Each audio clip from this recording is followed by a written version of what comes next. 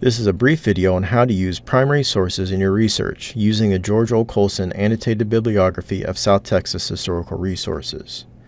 There are a couple of challenges when using primary sources. One is finding them, and second is making sense of your primary source. There are a lot of beautiful pictures, artwork, documents, but mean little if you don't know what they are. First of all, primary sources are, but not limited to, documents, letters, images, oral histories, artifacts, artwork, or newspaper advertisements. Basically, anything that provides first-hand testimony or direct evidence concerning an historical topic. The trick with primary sources is having background information on your topic and sources. That can be difficult if you are researching something for the first time. If you have the background knowledge, searching our database for primary sources is easy. Just go to our website and browse your search query. If not, this is what you do.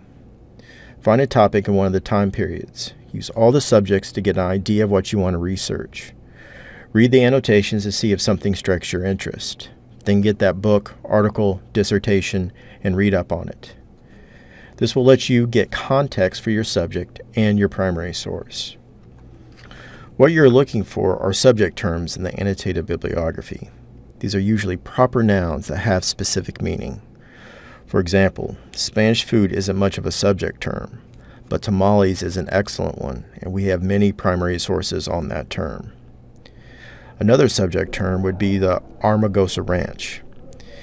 This is a much better targeted subject term than ranches. Then plug Armagosa Ranch in the Archives Browse feature.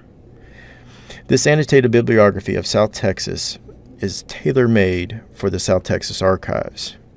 You'll find that there's all sorts of primary sources on the Armagosa Ranch. Also, the Armagosa Ranch can be found in multiple time periods for secondary sources. If you need help, please don't hesitate to ask. We can streamline the research process and save you time. This project was made possible by a grant from the U.S. Institute of Museum and Library Services and the Texas State Library Archives Commission.